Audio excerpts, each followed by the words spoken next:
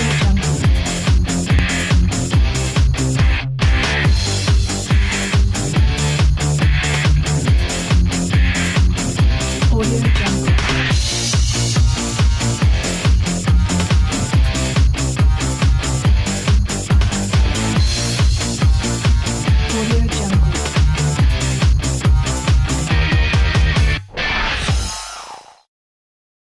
Olá, amigos do Esporte 10. Sou o professor Calazans Camargo e trago para vocês notícias do esporte. Vamos começar com o Hockey Inline.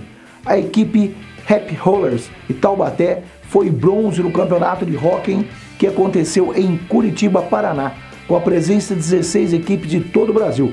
Parabéns aí ao Vinícius Calazans, ele que jogou nessa competição, número 44. O Vinícius está realizando um sonho de infância, né? Ele queria muito jogar hockey na infância, até participou um pouquinho, mas a prioridade foi o judô e o jiu-jitsu.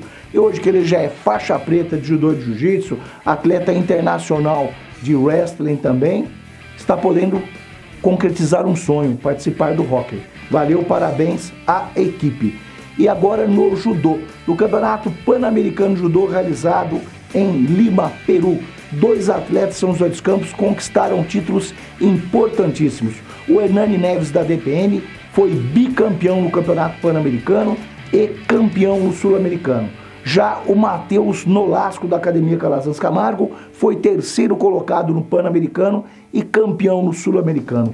Grandes títulos para São José dos Campos, comprovando o grande, o profissionalismo no trabalho de base de formação de talentos, visto que é uma categoria sub-13, né? Uma idade aí que está despontando e são promessas para o judô josense, um grande trabalho de iniciação esportiva do judô em São José dos Campos. E continuando com o judô, o atleta Carlos Eduardo Guedes, nosso amigo Sumô, né? O apelido dele é Sumô aqui em São José dos Campos, hoje com a academia de várias artes, artes marciais lá em Cruzeiro.